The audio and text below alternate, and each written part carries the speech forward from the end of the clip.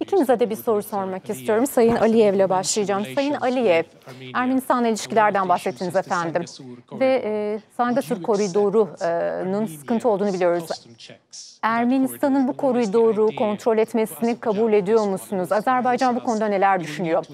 Ee, Sayın Michel'le e, bir araya geleceksiniz, Paşinyan'la bir araya geleceksiniz e, ve e, bir deklarasyon imzalanacak sanıyorum. Ne tür bir bağlantılılık söz konusu olacak Ermenistan'la? Ve Sayın Stoltenberg size de bir soru sormak istiyorum. Bir e, Rus e, yetkilisi e, görüşmeler yaptı bugün. Acaba e, burada bir barış söz konusu olacak mı ya da IMF e, antlaşmasına dönülecek mi Rusya'nın çekildiği?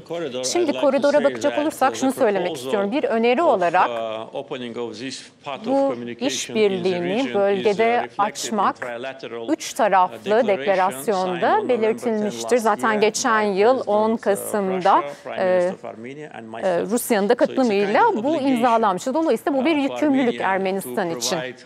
Aynı zamanda gerekli gerekli e, işleri de yapacağız. Tabii ki bu e, bir yıllıkta çok bu bir yıllık dönemde çok kolay olmadı. İşler ilerlemek çok kolay olmadı. Aynı zamanda e, karayolu yapımı söz konusu Azerbaycan'dan Ermenistan'a, Nahçıvan'a e, bir karayolu yapımı söz konusu. Bu konuda bir anlaşma vardı. Aynı zamanda e, tam net yola bakacak olursak karayolunun nerede yapılacağı henüz tam belirlenmedi. Bu gelecekte belirlenecek ve kesin kesinlikle bu akşam üçlü toplantıda da bu konuyu ele alacağız. Sayın Charles Michel'in ev sahipliğinde olacak bu toplantı. Yasal rejime bakacak olursak, koridorun rejimine bakacak olursak aynı e, durum söz konusu olacak Laçin koridoru gibi. Çünkü zaten Azerbaycan'ın güvenlik e, sağlayacağı ve erişim sağlayacağı belirtilmiş durumda Karabağ'la.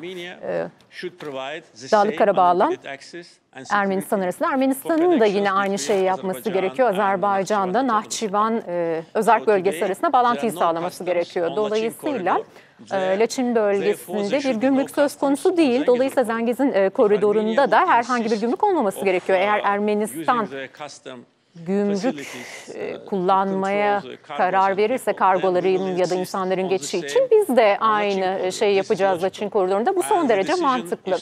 Ve kararın Ermenistan tarafından yapılması gerekiyor. Biz iki opsiyona da açığız. Ya iki tarafta da gümrük söz konusu olmayacak ya da iki tarafta da gümrük söz konusu olacak. Şimdi bağlantılılık konusuna gelecek olursak bu büyük bir fırsat.